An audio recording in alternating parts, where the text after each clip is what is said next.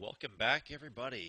Looks like today we are going to work with operations with integers. It's time to finally put everything we've learned together uh, about adding, subtracting, multiplying, dividing integers all into one type of uh, learning environment here. We're going to put it all together. Now, the operations with integers is going to be treated much like operations with whole numbers. And when we did that, we learned uh, something called PEMDAS. You may recall learning this. Or maybe you learned, please excuse my dear Aunt Sally. Well, with PEMDAS, or please excuse my dear Aunt Sally, we learned that we have an order of operations. So we have parentheses followed by exponents.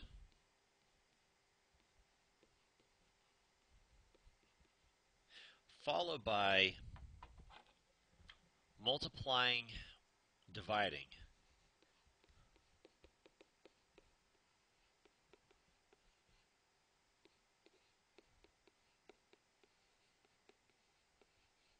And this is uh, whatever comes first from left to right. basically it's saying um, you could multiply first if it came before dividing, or you could divide first if it came before uh, multiplying. They kind of come as a uh, as a unit together. They're they're a pair together. So the m and the d go together. Now, along with the m or the d, we have adding and subtracting.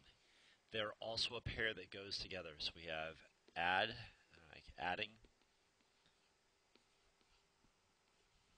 and subtracting.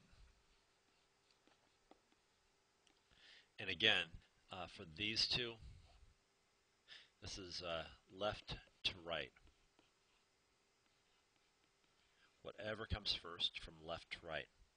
Uh, no particular order as far as which one comes first from adding subtracting other than what comes first from left to right. So there you have it. These are our order of operations. We have to follow this in order to get the same answer. Otherwise, if we didn't have an order of operations, we would end up having people having different answers for the exact same problem, and the there would be chaos, and the world would go uh, absolutely uh, berserk, and we can't have that in the world of mathematics. Therefore, we have to have some sort of order, and that is our order of operations that we are going to follow.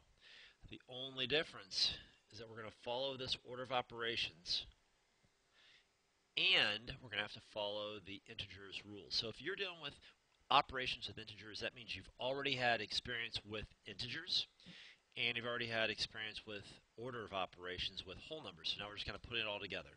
So what we're going to do is we're going to follow the rules from both of them to solve some problems. So I've got about four problems for us to do together, and hopefully they will help you understand. So our first problem we have is 20 plus 6 minus 2 times 4. And again, if you weren't here last time, uh, the little dot, it means multiply. We're moving away from x. We're uh, now moving towards algebraic thinking, and we use a dot uh, more than uh, more than not for uh, multiplying. Okay, so the first thing we're going to look at is do we have any parentheses? I don't see any parentheses. We move on to exponents. Do we have any exponents? I don't see any exponents. Then we say, do we have any multiplying or dividing? And yes, we do. So we're going to go ahead and we're going to multiply 2 times 4. So 2 times 4 is 8, and we're bringing everything else down. So now we have 20 plus 6 minus 8. Now we're going to do adding or subtracting from left to right, whatever comes first. It just so happens that adding comes first, we're going to add first. So we're going to have 20 plus 6, so we get 26. Then bring down minus 8. And we're down to our final step, 26 minus 8, which will end up getting us positive 18. And so in this problem, this is very much uh, like a whole number one. That we didn't really have to deal with the integer rules. That will be changing here very shortly. All right, we'll put this one off to the side. Let's move on to our next one. We definitely have integers in this one. Number two. Uh, we have uh, negative 15 And I guess, technically speaking, we had integers in the last one because we have positive integers and negative integers. So I, technically we, we had integers in all of them, but we're going to have negative integers in this one. So we have negative 15 minus 25 divided by 8 minus 12. Now, I do not like having subtraction when I'm dealing with negative integers, especially. So I'm going to go ahead and get rid of that by doing my LCO. So I'm going to leave this one. I'm going to change my subtraction to addition. I'm going to make the opposite of 25 is negative 25. Now, much easier. And since I have parentheses, I'm going to do my parentheses first. So I have negative 15 plus negative 25. That gives me a total of 40 negatives, so negative 40. I'm done with my operations inside of the parentheses, so I can drop the parentheses. I'm going to bring everything else down at this point. So now I have uh, negative 40 divided by 8 minus 12. So now I'm going to look, do I have any more parentheses? No. Any exponents? No. Multiplying, and dividing, yes. I have a division problem, so I'm going to go ahead and divide negative 40 by positive 8. So if you want, you can do it either way. You can say a bad thing happens to a good person, I feel bad. Um, or you could say, uh, well, 40 divided by 8 is 5, and since there's only one negative sign with the 40, it's going to be negative 5.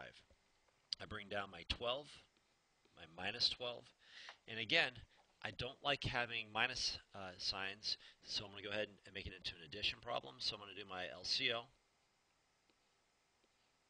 And I'm going to make uh, Negative 5 stays as negative 5. Change my minus to a plus, and the opposite of 12 is negative 12. I can go ahead and add now. Adding is easy. So negative 5 plus negative 12. Now I have uh, a grand total of negative signs of negative 17. And that is our answer for this problem. Hopefully this makes a little bit of sense to you. Again, if you know how to do your integers, and you understand the order of operations, you can follow those rules, you're going to find these problems are not really that bad. Just kind of a collection of all the things you've done so far. All right, we got two down, two more to go. Here we have negative 11 minus, in parentheses, 5 plus 2, plus 3. Okay, so again, we're going to uh, look at our uh, order of operations, first thing we need to do is our parentheses. Uh, and we have parentheses in the problem, so we're going to go ahead and add 5 plus 2, and we get 7. Since we are done with the operation inside the parentheses, we can go ahead and get rid of the parentheses and bring down everything else. So now I have negative 11 minus 7 plus 3. Now, again, I don't like having my minus sign, so I'm going to go ahead and do my LCO. I'm going to make uh, 11 stay, negative 11 stays negative 11. Change subtraction to addition. Opposite of 7 is negative 7. So now I'm going to do negative 11 plus negative 7. Gets me negative 18. Bring down my plus 3. And now I can do my final step of the problem.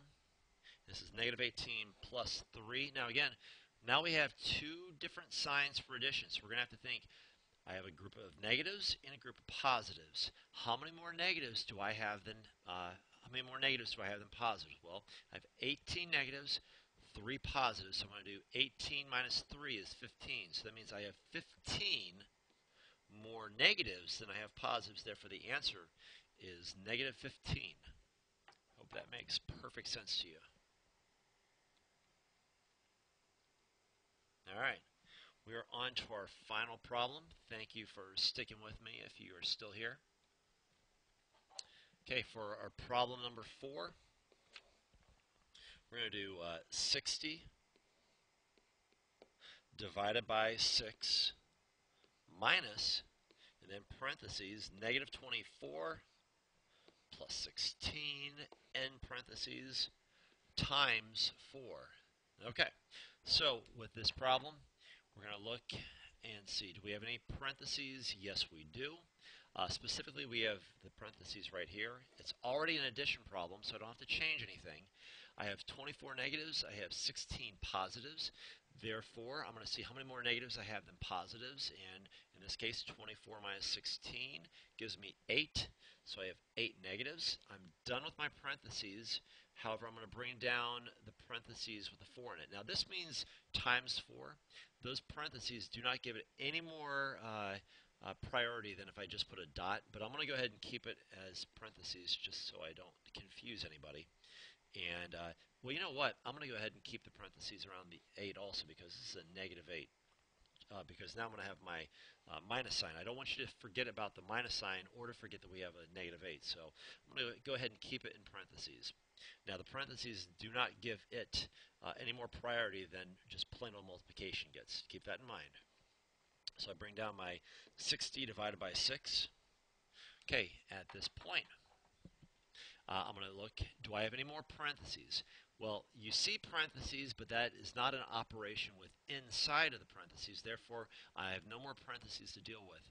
Uh, then do I have any exponents? No, I don't have any exponents. How about multiplying or dividing? I do have both. Now, in this case, I'm going to divide first because it comes first from left to right. So I'm going to do 60 divided by 6, and that gives me 10. Then I'm going to bring down my uh, minus sign and then negative 8 times positive 4. I'm going to go back and I think, do I have any more multiplying or dividing? I still have multiplying. So negative 8 times positive 4 is negative 32. And again, I'm going to keep this in uh, parentheses just because it's a negative 32.